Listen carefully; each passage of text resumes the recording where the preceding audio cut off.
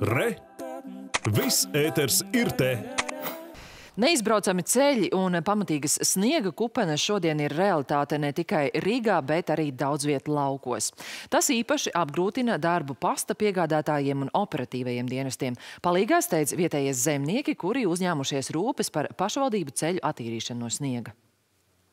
Paši mazākie lauku ceļi šodien izskatās lūk šādi. Vien divas pašu autovadītāju iebrauktas risas. Un par cik vēl aizvien turpina snikt visdrīzāk tuvākajā laikā šeit sniega tīrītājs neieradīsies. Bet pasniekiem pa šādiem ceļiem jāpiegādā pasts saviem klientiem.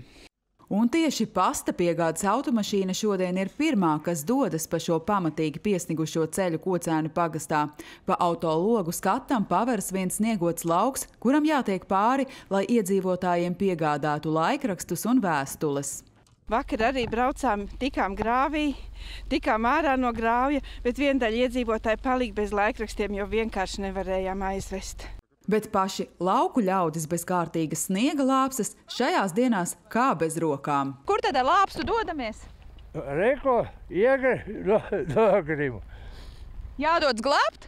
Jā, jāiet raktārā. Nu kā sniema, kā sniegs? Nekādu vairs, ziemu kā ziemu. Greidēs nāca, nodzinos tur malā un palika. Tagad lāpsta pār plecu jādodas palīgā. Jā, jā sieva pasauc palīgā, pastumt, kaut kā jātiek ārā. Kunga piesaukto sniega tīrītāju satiekam jau krietnu gabaliņu tālāk. Tas ir vietējais zemnieks, kurš apņēmies kocēnu pagastā no sniega attīrīt pašvaldības ceļus.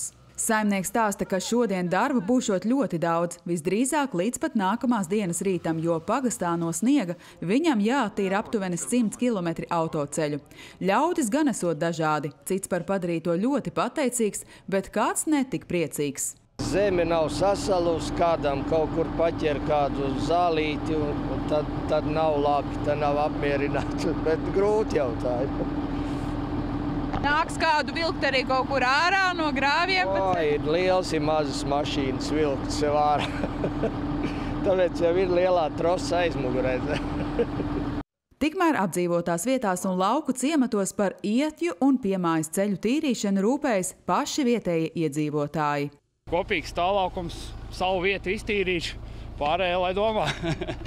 nu, bet kā ceļi vispār? Ceļi? Nu, kā saka, pilsēt jau vēl ir blauki, tur, ko es laukos braucu pie māsas, ja tur no rīta reāli māsa ārā netika. Pusotru kilometru izbraukt, izrakt ar lāpstu, kupenes tādas, ka nav. Lai gan sniegšana šodien turpinājās visu dienu par valsts nozīmes autoceļiem visā Latvijā rūpējās vairāk nekā 180 ziemas tehnikas vienības, un pēc sniegšanas beigām tie jānotīra 3 stundu laikā.